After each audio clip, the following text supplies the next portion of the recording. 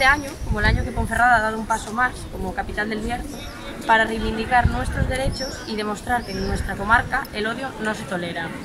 Las instituciones están para ayudar a las personas y nosotros, el colectivo LGTBI+, no va a quedar atrás. Reivindicamos el amor, el derecho a ser, la libertad, el respeto y la tolerancia y desde el Gobierno y Coalición por el Bierzo queremos que sepáis que nuestra mano siempre está tendida. Ojalá pronto estos gestos no sean necesarios y la igualdad sea real, mientras lucharemos de la mano todos juntos.